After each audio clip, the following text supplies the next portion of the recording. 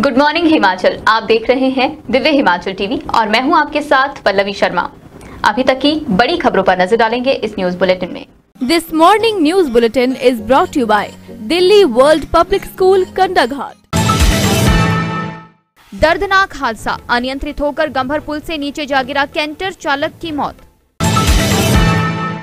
सुंदरनगर में तेज रफ्तार कार बीच सड़क पलटी अन्य कार को भी लिया चपेट में दो सवार घायल।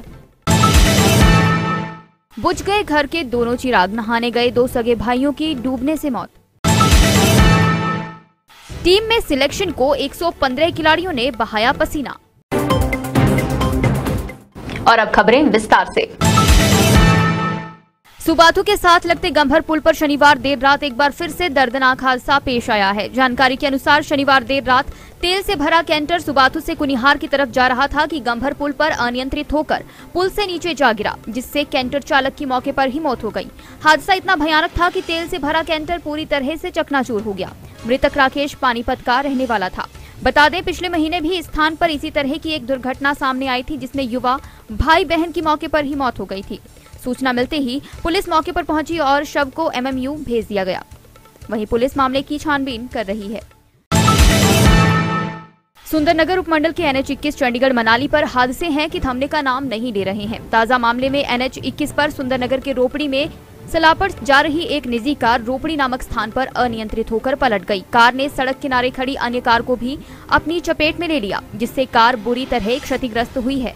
कार के पलटने से दो सवारों को चोटें आई हैं, जिन्हें प्राथमिक उपचार के बाद घर भेज दिया गया है। हादसे में दोनों कारें बुरी तरह क्षतिग्रस्त हुई है। सलापड़ पुलिस ने मामला दर्ज कर आगामी छानबीन शुरू कर दी है। गढ़शंकर तहसील के माहिलपुर प्रखंड के ग्राम डाडा खुर्द में प्रवासी श्रमिकों के घर के दो चिराग बुझ गए। उत्तर प्रदेश के हल्दी निवासी मिथिका के पिता इस्फाक पुत्र सियाम देव ने बताया, वे अपने बच्चों के साथ घर के काम के लिए लकड़ियाँ लेकर गाँव से निकला था, कि तभी उनके बच्चे नदी में नहाने चल गए और डूब गए।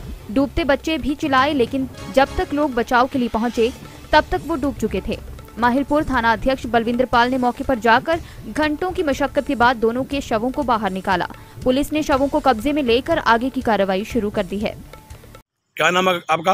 अस्पाक यहाँ का जो घटना हुई है ये कौन सी कैसे घटना हुई है जी? ये साहब ये तो आप बंदे आते थे आप कनिक बट के बढ़ रहे थे। तो पता लगा कि इधर दो नियाने डूब गए थे।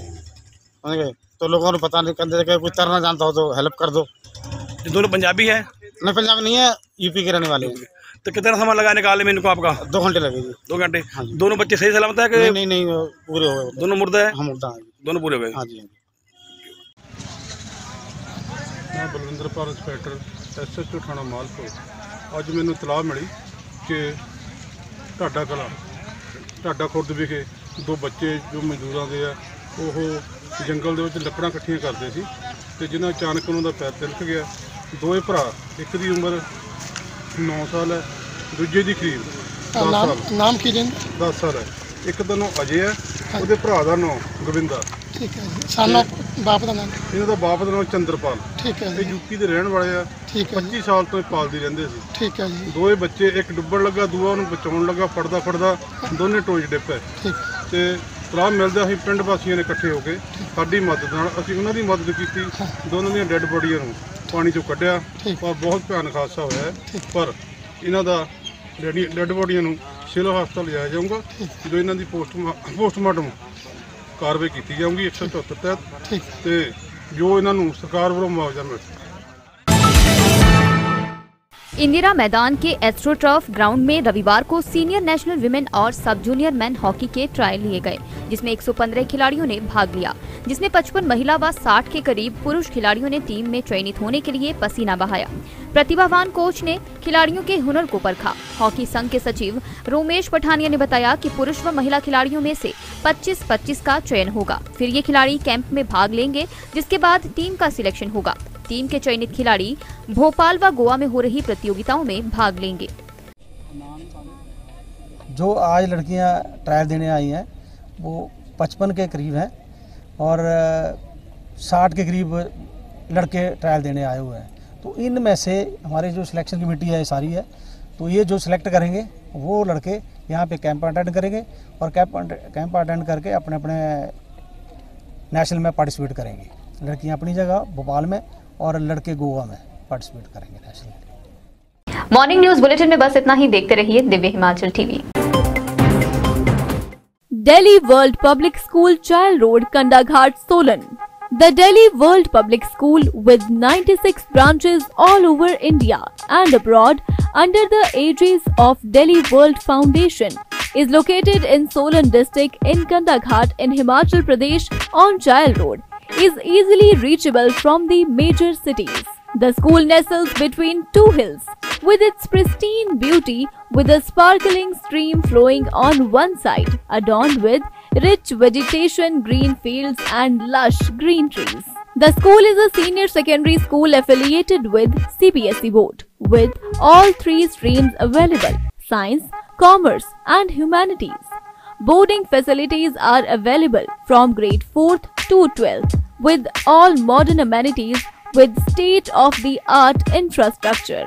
Counselors for holistic development of a child, well equipped conference hall with modern amenities for conference, workshops, and important webinars. With a plethora of creativity based activities, music room, dance room, yoga room for holistic growth and sound health. A wide range of crafts including poetry, handmade paper and recycling of it with fully equipped science and math labs. The library houses the best collection of knowledgeable books with a large sitting capacity, well lit and facilitated with modern amenities with the provision of e-library. We have spacious, comfortable and well lit classrooms catering to all age groups with activity room for kindergartners to develop their psychomotor skills. The hostels are airy, spacious, sunny and gives a clear view of the valley. It has a provision of two children in a room with attached washrooms, study table and modern gadgets with high standard mess facilities. Various activities are held during the year and students made headlines and brought laurels to the school. A sense of empathy and creating awareness about our environment is in the philosophy of the school. Be the change you want to see in the world. For more queries, contact 988 20 40097 or 755 964 0097.